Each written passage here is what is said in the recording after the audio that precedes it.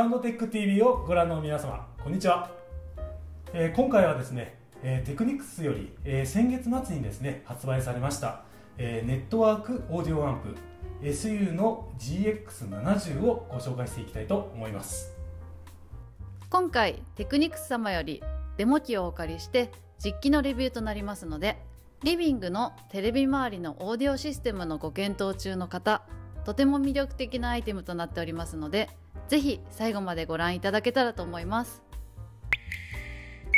えー、今回ですね、えー、ご紹介いたします、えー、ネットワークオーディオアンプ、えー、テクニクスのですね、えー、SU の GX70 ですがテクニクスブランドのですね、えー、グランドクラスというラインナップのですね、えー、新コンセプトモデルとなっております。見る限り薄型でリビングのテレビボードにも収まりそうですね。そうですねはい。本体の寸法は幅 430mm 高さ 98mm となっております。そして奥行きが 368mm ですので奥行きが40センチほどのローボードであればすっきりと設置もできそうですね。そうですね。はい。すごいあのコンパクトなコンパクトですよね、はい、スマートなデザインとこうサイズ感ですね。テレビボードに収まるというのは何よりも嬉しいですね。はい、はいえー、このサイズ感でありながらですね、えー、テクニクスのですね、えー、上位モデルで培った、えー、高音質技術をですね、えー、惜しみなく投入されているということでですね、はい、はい、えー、まずはですね、まあ、音質が気になるところですよね、はい、はい、今回は人気のソナスファベールのトールボーイスピーカーソネット3と接続しておりますので、はい、それではまず1曲おかけしてみたいと思います。今回はえー、オーディオナスからのデータ再生で行いたいと思います。はい、ではちょっと聞いてみましょう。はい、はい、どうぞ。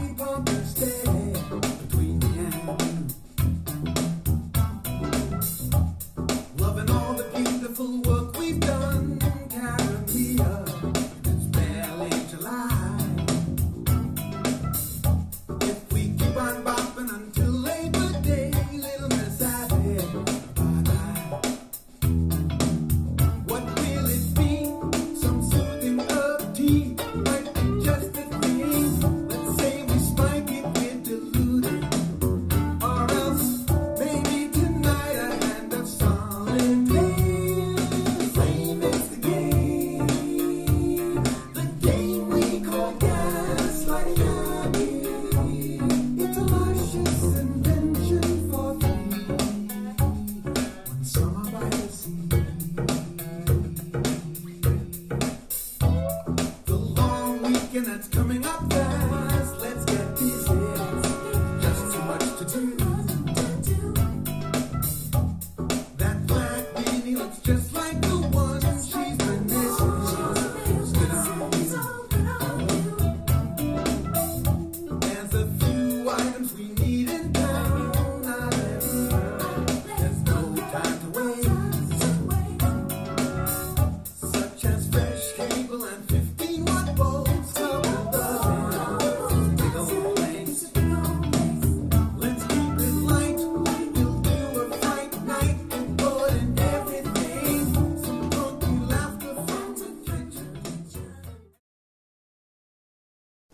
テクニクスのですね SU の G70 とですね、えー、ソナスファベール、えー、ソネット3の組み合わせで、えー、聞いていただきました。はい。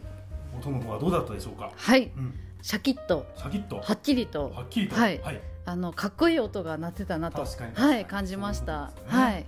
なんかあのスティーリー・ダンのはい、はいあの良さがすごく出てたように感じました。なんかうん。リズムとか、そうですよね、はい。メリハリとかがしっかりあったなと。はい好印象ですか？好印象です。なるほど。はい。宮崎さんはどう感じましたか、そうですね、はい。あのとってもクリアっていうのはもうすごく印象深かったなっていうところで,、でまあ緻密でですね情報量の多い、まあ、サウンドだなっていうところですよね。はい。それでいてですね、えーしっかりとしたあの駆動力ですね。あのソネット3のウーハーがまあすごく軽快に動いてたっていうような、まあ、そういう感覚をさえも、えー感じさせるような駆動力ですね。そういったものも感じましたし、まあ、なんといってもあの薄型筐体、はい。ね、これで20万円台とは思えないですね、まあ、すごく安定感のあるね、えー腰の座ったサウンドっていうのを、えー感じたっていうところですよね。はい。それでは SUGX70 の特徴をいくつかご紹介してみたいと思います。まずは背面をご覧くださいアナログ入力は RCA 端子が2系統フォノ端子は1系統で MM 入力のみ対応しております。えー上位モデルのですね、えー SU の R1000、えー以前も動画撮らせていただきましたけども、えーこちらのですね回路ベースとしてですね、えー再設計された、えー左右対称レイアウトのですね、えーディスクリート構成を採用しております、えー部品もですね同品質のものを採用して、えーチューニングされているということですね。デジタル入力は光デジタル入力が2系統。同軸デジタル入力が1系統。ARC に対応した HDMI 入力も搭載されています。その他にも USB-B 入力と前面に USB-A 端子も搭載されております。はい。あの ARC 対応のですね、はい、えー HDMI 入力端子は嬉しいですよね、はい。まあえー詳細はね、えー後ほどご紹介いたしましょう、えーあとですねネットワーク系のものになりますとですねあ有線の LAN ポート。それから、えー Wi-Fi、Bluetooth アンテナもありますよね。で、えー先ほど聞いていただいた音源なんかもですけども、えー NAS からの、えーストリーミングはもちろんとですね各種ストリーミングサービスも対応しておりますので、まあ、Bluetooth とか AirPlay だったり Chromecast のこのあたりもまあ OK というところで、まあ、Amazon が早く HD に対応してくれるとい。いなという希望は持っておりますね、はい。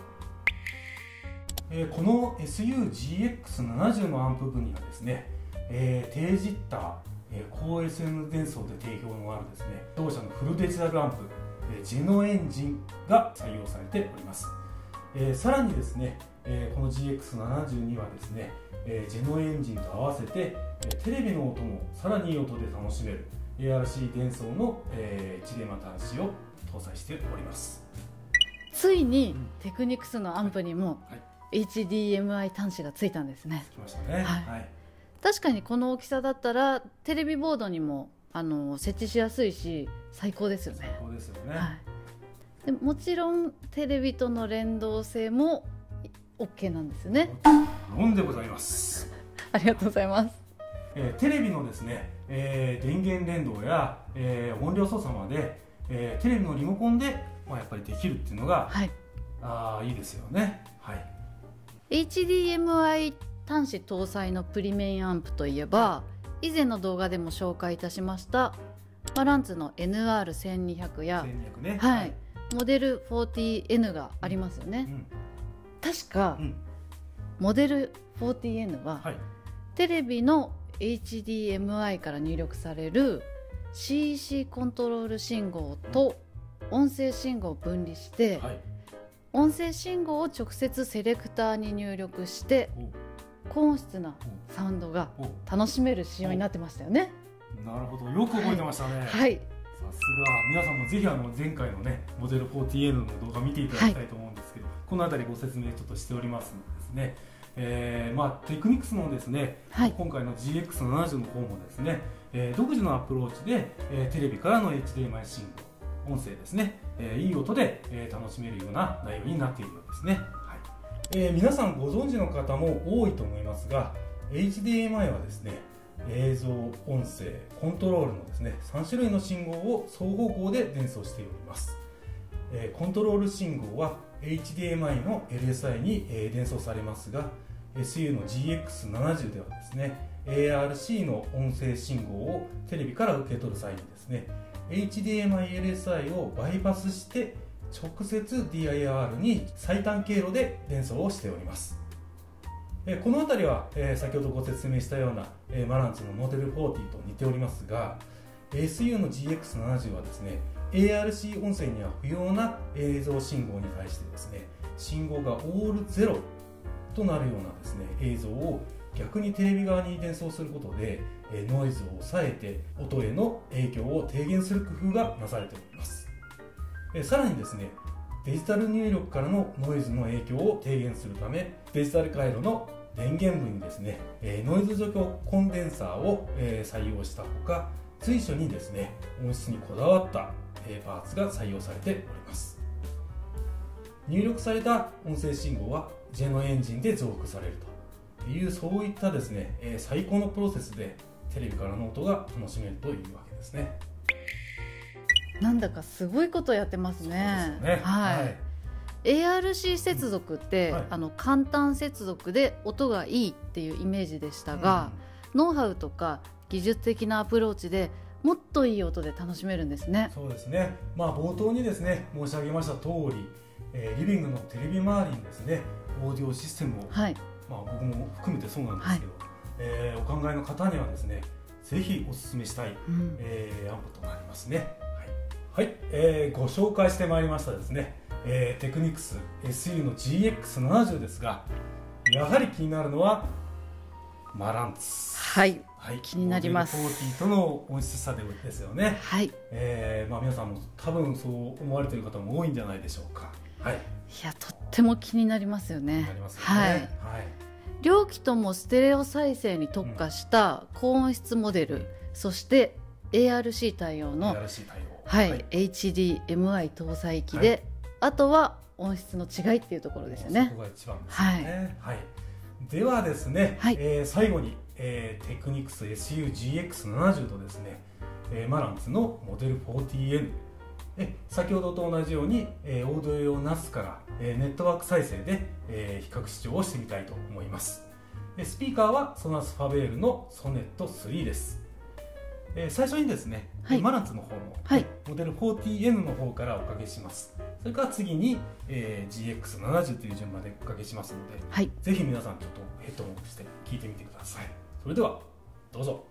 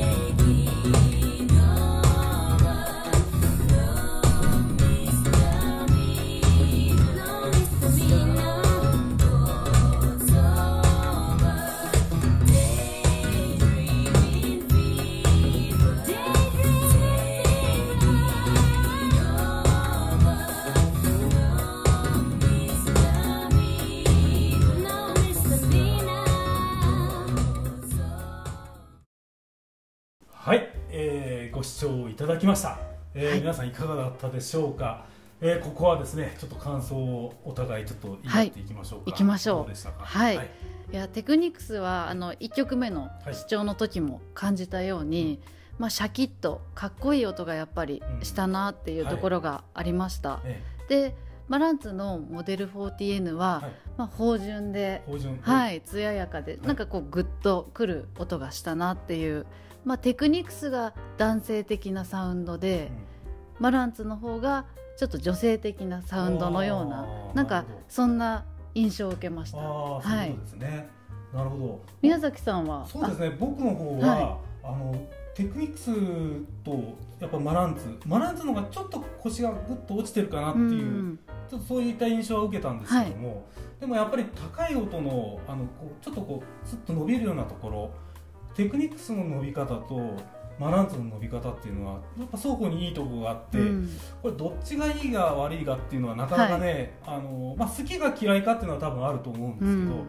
私はねあのマランツのあの前のモデル 40N はい。ご紹介させていただいた時に、まあ、聞いてた印象っていうのはやっぱ強く残っていたので今日はあのソナス・ファレールのねはい。えーソネット3で聞いたんですけどもソネット3のまあなんかこうすごくこうスカッとこういいところがありますよね、はい。ああいったところがねマランツのあ音の伸び、えーうん。テクニクスのと伸びるあの辺のでもおっしゃるようにはい。シャキッとしてるところがやっぱりテクニクスうん。あるなという感想は僕も持ちましたよね、はい。でもまあやっぱりいろんな曲を聴いていって、まあ、これは私はこっち私はこっちって最終的には当然なっちゃうのかなというふうに思いますよね。はい。どうですか？見た目どっちが好きですか？うーん悩みますけどテレビ周りそうですね。かっこいいリビング作るならやっぱりテクニクスではありますね。ちょっとなんか観葉植物とか木の感じ入れるんだったら、はいはいはい。モデル 40N かなとかいろんなものをね、はい。並べてっていう、はいまあ、ちょっとねあのモデル4っていうのははい。奥行きがうあったりとか、ん。なんか天板に一発ポンっていう感じのね置き方だったらすごくかっこいいなとはうん。思うんですけど、どうしてもまあテレビボードの中にねちょっと収めるとかなったりとかすると、うちょんっとやっぱり薄さであったり奥行きだったり、ね、ボードをお話ししたようなものだったりとか、えーいうところがまあいろいろ置ける置けないっていう問題はあるのかなとは思うんですけどはい。まあサウンドの違いっていうのはですねやっぱり聞いてみないとわからないなと、そうですね。ねはい。正直テクニクスはもうちょっとちょっと後退するかなと思ってたんですよね。ちょっとマランツに押されちゃうのかなっていうような感覚があったんですけどね。はい、まあでも好印象ということで、はい。すごくね気に入りました。そうですね、はい。まあ、皆さんもですね、えーまたご感想を、えーコメントなどに、えー寄せていただけたらというふうに思います。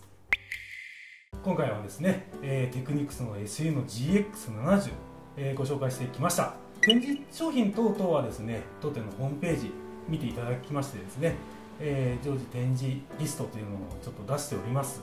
えーそちらの方をご確認の上もししっかり聞いてみたいなっていう方いらっしゃいましたらですねえーぜひご予約をねはい。えーいただいて、まあこちらの部屋でじっくり、えー1時間ばかし、えー聞いていただくとかそういったことも柔軟に対応しておりますのでぜひそのあたりのごお問い合わせをねいただけたらとはいいうふうに思お願いしまますすまあ、あの暑くなってきましたので、えー皆さんどうぞ体調の方はね気をつけられながらですね、まあ、暑いとはいえどオーディオ熱は冷まさずというところで、えー、大方はよろしいんじゃないはいでしょうかいいですね。はい。はい。熱くいきましょう。ね。はい。はい。